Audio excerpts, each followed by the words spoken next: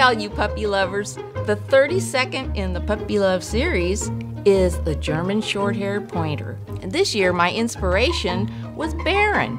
He's my next door neighbor. He was a rescue pup, so he's probably not pedigreed, but he looks an awful lot like this with his brown spots on a white background and speckles just all over. So, this little pup is in his typical pointer pose.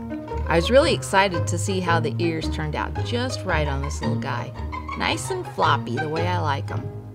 It's always a challenge for me to get the face just right.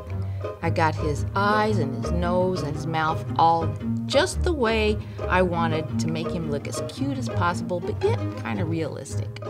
It was so much fun to paint this guy, just getting the spots just right and all those speckles. I had a lot of fun and made a mess at my kitchen table. Everybody usually asks for a pony for Christmas, but this year I think we should all ask Santa for a pointer for Christmas.